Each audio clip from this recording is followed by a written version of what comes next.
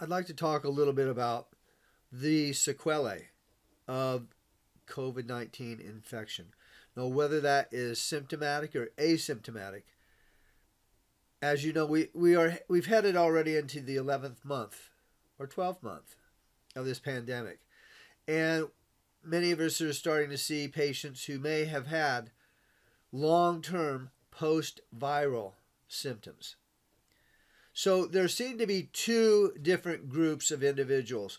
One of those is those who experience some sort of permanent damage to the lungs, heart, kidneys, or brain.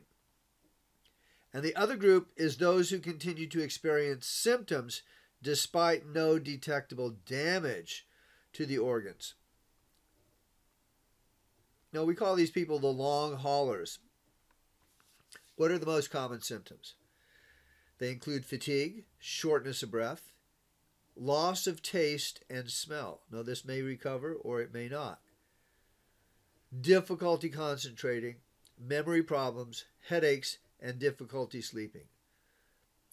So you can see how these particular things are related to the nervous system, to the lungs,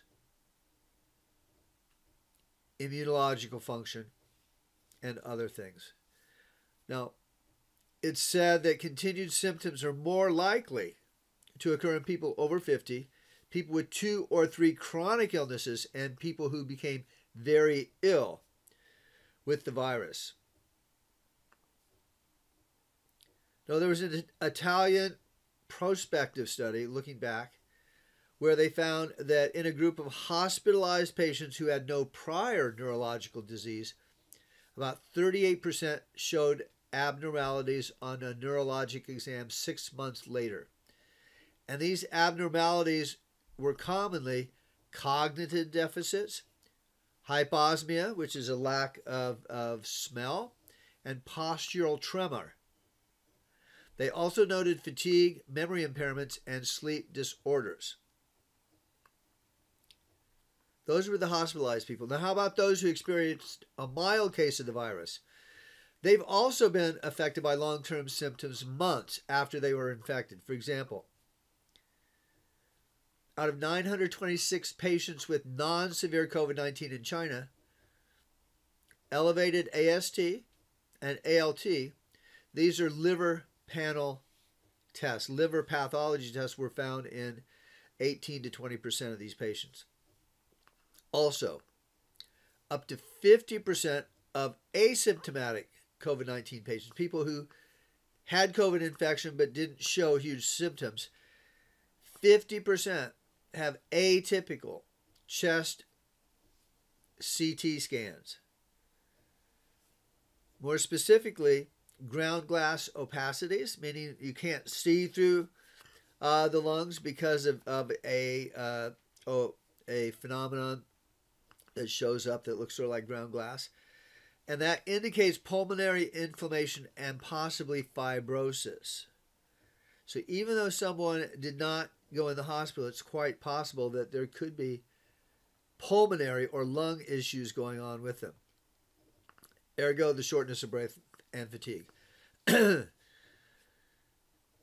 viral immunologist and infectious disease expert at the University of California, San Francisco, Timothy Henrich, states the etiologies, the causes, are almost certainly multifactorial, but may involve overzealous immune responses, cardiopulmonary or systemic inflammation, vascular inflammation or clotting disorders, and direct damage from viral replications during acute illness.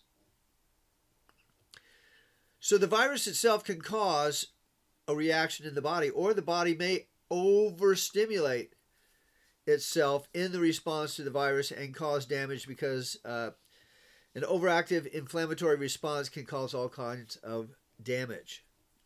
Just like if you see someone, see people rioting in the streets, they break windows, all this kind of stuff. This is an example of like an over inflammatory response where things are broken um, versus just people letting off steam and um, being upset but not breaking a lot of stuff. So if, if your body's immune system gets overactive overreactive, it starts destroying your own tissues as it goes along. And that tissue debris has to be dealt with, or it turns into something uh, pathological and something that becomes chronic and like fibrosis or other things of that nature.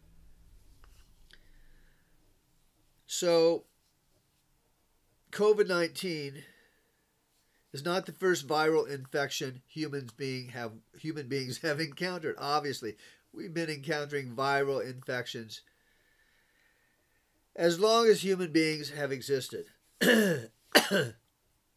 However, seeing patients or, or clients or other people months later who are still suffering from symptoms is very concerning that this is not resolved.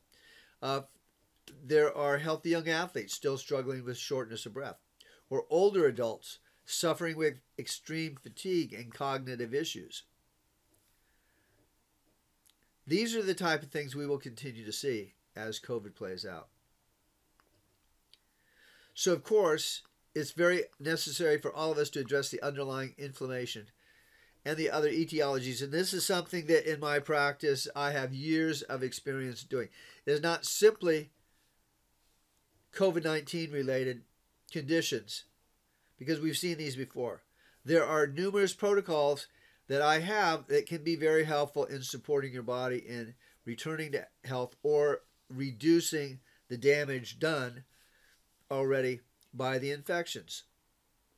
So I would, I would, I would suggest that you give me a call, uh, contact my office, and we'll see if we can find the right protocol for you to help boost your system, balance your system so it's not over responding still, and help you return to as normal a function as possible. Thanks a lot. Dr. Jay Sordean here with your COVID 19 update.